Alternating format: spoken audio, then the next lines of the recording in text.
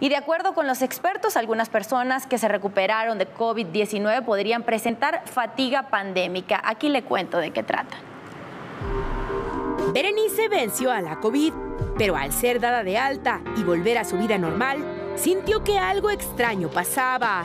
A mí me espantó mucho volverme a sentir pues muy cansada, porque te sientes muy cansada, eso es real. Cuando me empezó a doler la espalda, cuando caminaba poco y me fatigaba muchísimo, sentía mareo.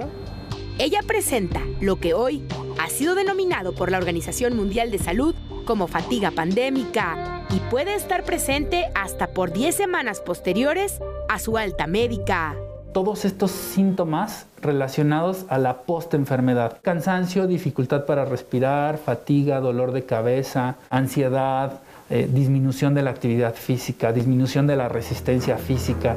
La fatiga pandémica también puede padecerla quien no ha contraído el virus.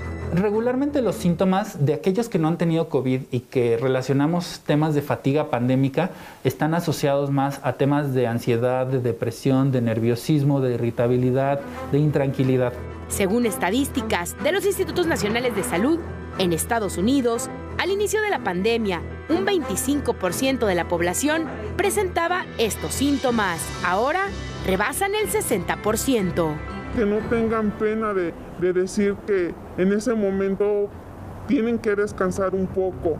La recomendación para quien sí padeció COVID es no desesperar y retomar sus actividades de forma paulatina. Y estos son los consejos para quienes no han sido contagiados.